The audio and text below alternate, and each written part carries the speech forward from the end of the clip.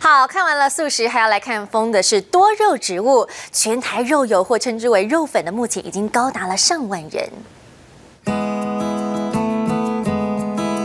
种植的部分它是双向的，就是你付出植物多少，它就回应你多少。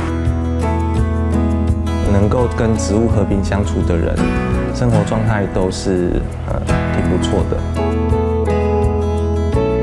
常常就是弄到半夜三更，然后做完一件作品之后，就常常退后三步，一直在欣赏。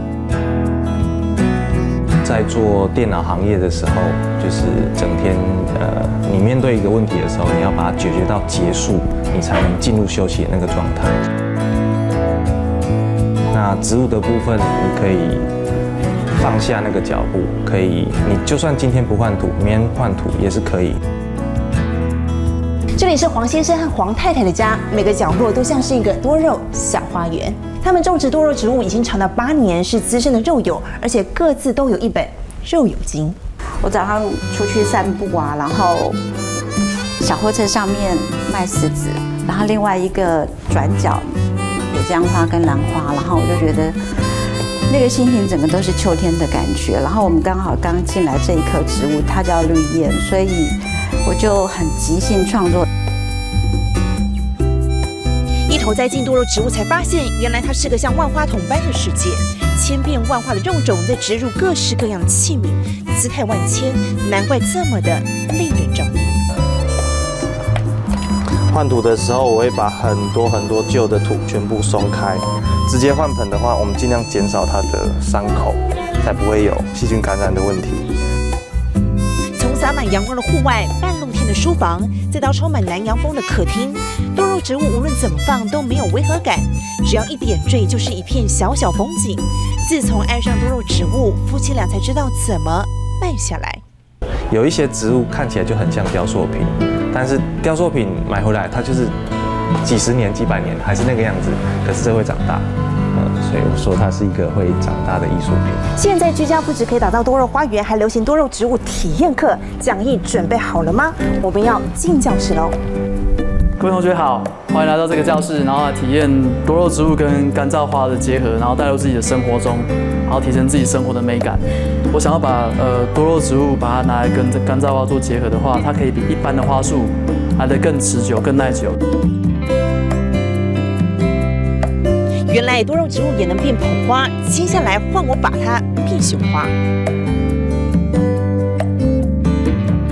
十五分钟后，好不容易我的胸花完成了，老师会给我打几分呢？对第一次制作胸花的人来讲，我给你打八十分，因为你选择的花材跟层次做得很不错。全台肉友或称之为肉粉，目前已经高达上万人。休假下了班，他们不当沙发马铃薯，也不补眠睡大头觉，因为最近很多人都在疯多肉客。都看到这种多肉植物的时候，其实心情会很愉悦、很疗愈。就很可爱的东西，很不像这个世界上的东西。我们完成一个作品以后，就可以放在我们的居家布置。我觉得这个是很，就是回家了，然后看到这么漂亮的作品，心情就很疗愈。想要慢活下当个肉鱼族，其实没有这么简单，因为养殖多肉植物其实还有不少的小诀窍，你不得不知道。户外型的多肉植物通常颜色比较鲜艳，或是有莲花座的外形。这类的多肉记得大约一星期浇一次水，最好的户外生长温度是十五到二十五度。半户外型的多肉植物除了浇水期更长，最怕不通风了，所以放在窗边比较适合。另外，室内的多肉植物不是放在办公室里或家里就搞定，不能完全没有阳光，起码一个月要晒一次太阳。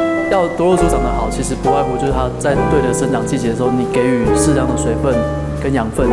那其实说真的，很多景天科在夏天它是休眠的时候，它本来就会丑，你并你不能要求它休眠期的时候变漂亮。我觉得它对植物是不公平的。除此之外，关于多肉植物的网络传言还不少，道听途说究竟正不正确？植物达人让你快问快答三十秒。在抗辐射的范围仅止于植物它所生长的范围，它并不能够把辐射往这边吸，所以我认为它有吸辐射作用，可是可能没有像网络上传言一样有那么厉害的功能。这样，秋冬的时候一个礼拜浇一次水，但是我还是会看我配的土去评判说它土干了以后，我会隔一两天才又再浇透一次。那相对的肥料的话，我建议给，比如说半个月给一次。那用液态肥，它来得快去得快，比较不会伤害到植物的根。很多时候在非成长期的时候，你不给水断水它都没事，但是成长期的时候断水断太久，它就会可能干燥，因为它正在生长，它需要养分跟水分的时候不给它，它会被抽干。怎么养多肉植物学起来，你也可以轻松当个绿手指，赶上多彩多姿的多肉风。